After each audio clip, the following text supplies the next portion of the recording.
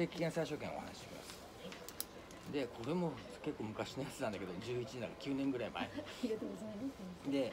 まず電解質のバランスナトリウムカリウムクロール正常範囲でした、はい。が次腎臓の機能を見るとこねクレアチニンとビュエンともに正常でした。すごいですね。いいですね。血糖値も正常でした。そうでした。はい。肝臓。はい。GPT が84若干高いけどさこのはい。9年前も88だからまあほぼ横ばい。はいが GOT がこれも若干高いですね、若干ですね。はい。はい、ALP は正常と。ビリルビンも正常と。からあとここも肝臓なんだけどはい。まあ横断が出てるかどうかこれは出てない。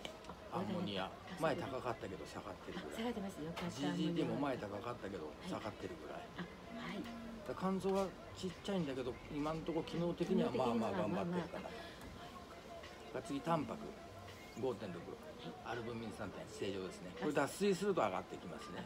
脱水肝臓がすごい飲んでなかったんですけど水うんままだ正常範囲でした。がアルブミンじゃなくてグロブリン。これは炎症があると上がったりもするけどまあ正常範囲。カルシウム。いいですね。コレステロール中性脂肪も正常。あ正常でした。はい、から MF というのはフィラリアの子供寄生虫がいるかどうかね血管の中に。いませんいません。ね。だから PCV は血液の中に何パーセント赤血球があるか。い42まあ正常です。だけど、まあ、45、6は欲しいんですよ実を言うと。あそうなんですか。で37切ってきたら貧血です。だから白血球の数1万2700はい。でシニアだからさい。5000から1万3000一応正常範囲です。でもちょっと確保してちょっと正常範囲でも多めの正常範囲。が今度ラッキーちゃんがリパーゼ。これは膵臓が悪くなると上がりますけどまあ正常でした。はい。が CRP これも炎症マーカー。あはい。一応正常範囲でした。がリン。これは腎臓が悪くなると上がりますが正常範囲。でこの CPK がちょっと高いと。でこれはね CPK っていうのは筋肉。生はい。筋肉って言っても3つあるんですね。はい。普通の骨格筋。はい。それから胃とか腸とか膀胱の平滑筋それからあと心臓の筋肉、はい。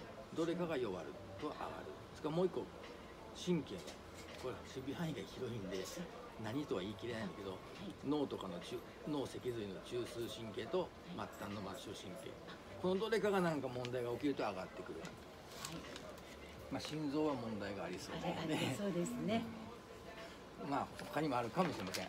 要は変形性脊椎症があるからさそれで脊髄にもちょっとダメージがあるかもしれません。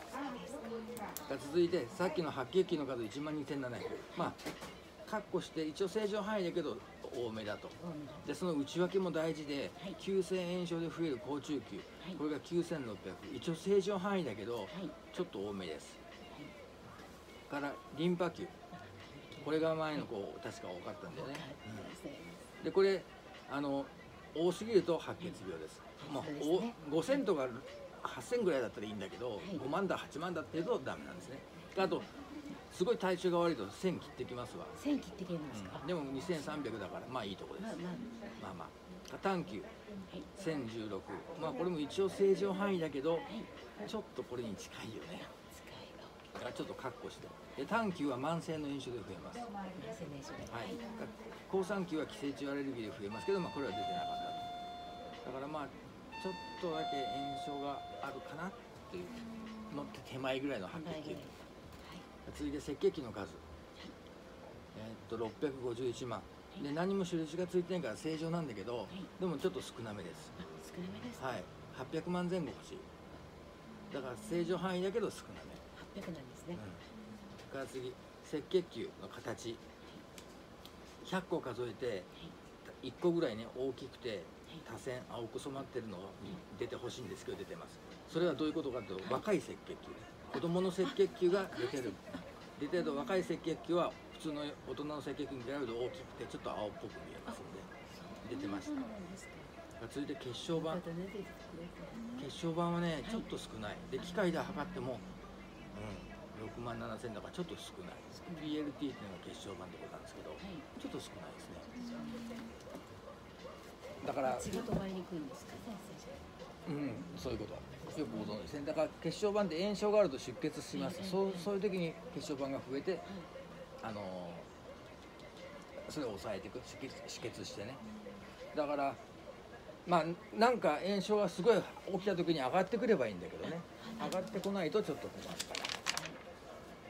で